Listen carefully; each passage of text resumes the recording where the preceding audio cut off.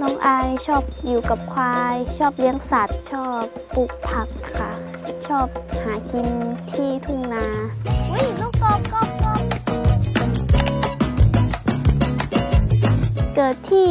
กรุงเทพค่ะ แต่ว่าพออยู่ได้ประมาณสามขวบก็ไม่อยู่ที่นี่อยู่ที่นาตื่นเช้ามาก็ไม่ได้ยินเสียงคนบกเวกโวยวายอะไรอย่างเงี้ยเขาจะได้ยินแต่เสียง นกเสียงไก่ขันตอนเช้าค่ะ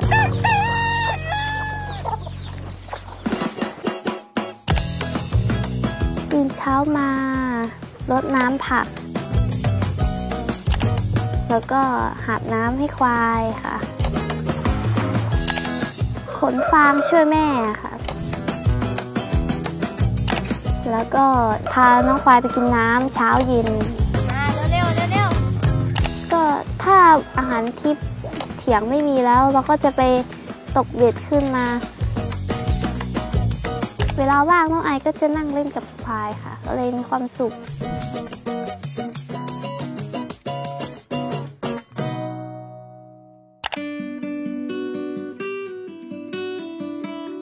น้องอายอยากปลูกผักไว้กินไว้ใช้ค่ะ จะได้ไม่เปลืองตังไปซื้อของคนอื่นน้องอายเห็น คุณยายกับคุณแม่ปลูกค่ะ ค่ะ น้องอายเลยถามว่า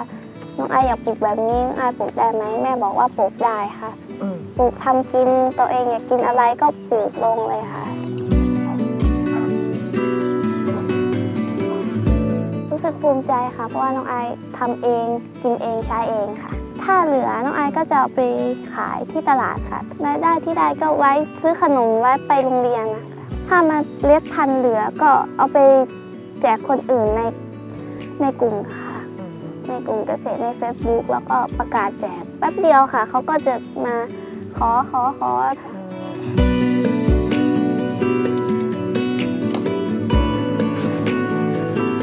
ก็ตอนแรกก็ยากค่ะ เราก็ยังไม่รู้ยังไม่คล่องกับการทำแบบนี้ค่ะ เพราะว่าต้องให้คุณจะทำยังไงเลยทำรู้สึกมันยากพอทำไปทำมันก็ชินแล้วค่ะ ก็ไม่ยาก ต้องใส่ใจกับมันค่ะ ว่าเราควรทำยังไง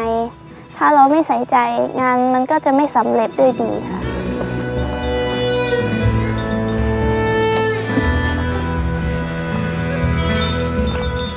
ก็เหนื่อยอยู่ค่ะ แต่ว่าน้องอายชอบมากกว่าค่ะอืมเหนื่อยแต่ว่าเราชอบเราได้ทำในสิ่งที่เราต้องการค่ะอืมรู้สึกว่ามันมันมีชีวิตและมันให้ผลผลิตเรา มันมันมันดีกับเราค่ะน้องอายชอบ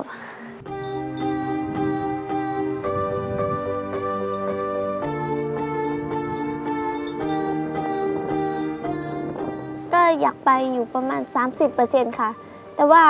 ถ้าไปแล้วควายหรือสัตว์ที่นี่เราไม่ได้ดูแล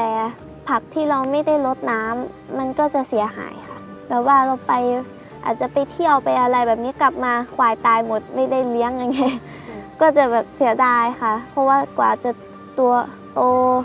ได้แต่ละตัวเนี่ยยากเลยค่ะ